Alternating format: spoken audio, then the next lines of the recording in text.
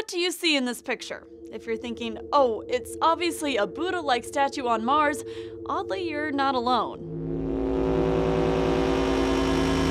A UFO blogger says the photo taken by NASA's Curiosity rover proves that Mars once had intelligent life, but NASA doesn't want anyone to know the truth because they will be asked to share the info and technology that they have found. We're not even going to comment on that.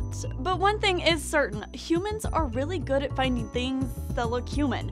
It's called pareidolia. Whether it's a face like the man in the moon or a human shaped object like the famous woman on Mars, scientists say we're primed to focus on things that look vaguely human, like shapes on pancakes. Some people can see Jesus. Some people are saying, oh, he looks like Abraham Lincoln or a hillbilly, or some people are even saying Charles Manson. According to NPR, researchers have measured the part of the brain that engages when you recognize a real face.